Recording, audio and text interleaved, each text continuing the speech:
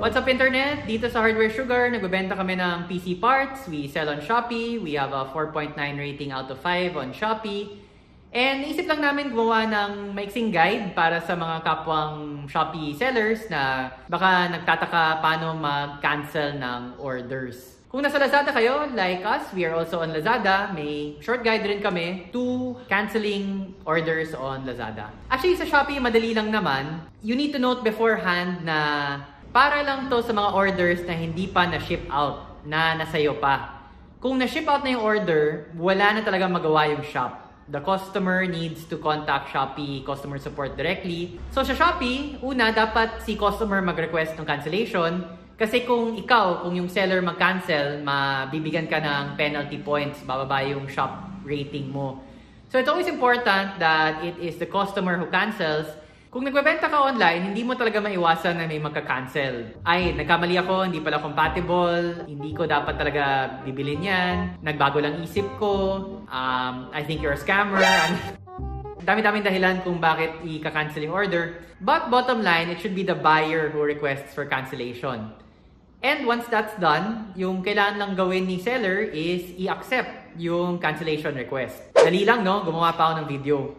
Pero paminsan nagkaka-error hindi mo matanggap yung or hindi mo ma-approve yung cancellation request. And I've noticed na nangyayari to pag let's say na-schedule mo for pick up yung item on Wednesday. For whatever reason, hindi na pick up, hindi mo napadala yung item. Thursday, nag-request si customer na pwede na lang natin i-cancel. Nasa'yo pa yung item, dapat pwede yung cancellation. Dito sa Hardware Sugar, hindi kami strict. You know, it's no problem. You wanna cancel? Sure, no worries. But the problem is, since lumampas na dun sa araw na dapat i-pick up, dun ata nagkaka-error based on our experience here. So you try to accept the cancellation request, lumalabas yung system error na yan, and what we do is we take a screenshot and then we have to email the details to Shopee customer service. And then you need to wait a couple of days para matingnan ni Shopee, then you cancel nila. Paminsan, like 10% of the time, hindi nila nakakancel, so you need to follow up with them. Paminsan nakakainis, si customer nag-request ng cancellation, the shop wants to approve it, pero nagka-error. Sa so, sobrang tagal, i-approve ni Shopee yung cancellation request, automatically nakakancel na siya. Pero yung problema, tingin ng Shopee system na mabagal yung shop. So, matatamaan yung shop rating mo, parang bababa yung shop score mo, baka mabigyan ka ng penalty points. And it's not your fault It's the customer who wanted to cancel. The shop said no problem. Sige, approve. Hindi ma-approve ni shop kasi error sa Shopee system. Pero since mabagal mag-i-approve ni Shopee, ikaw yung, yung shop, yung seller yung mape-penalize. So, nakakainis lang.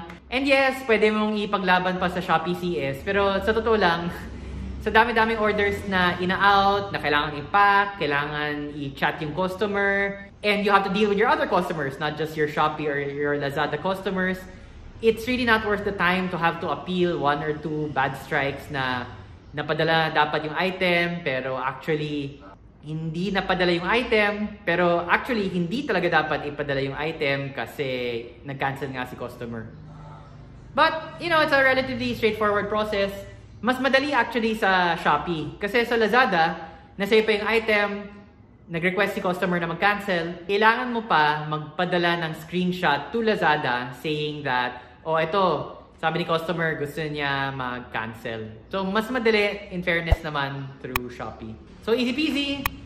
I hope that you do not experience a lot of customers canceling. Hassle yun. Especially kung napack mo na yung item and good to go na siya. Happy selling, guys! So I hope that these basic tips help you. If you found this video helpful, please drop a like and hit the subscribe button. For your PC needs, consider buying from us, Hardware Sugar, at Lazada, or on our website. You can find links in the description below. And thank you for watching. See you next video.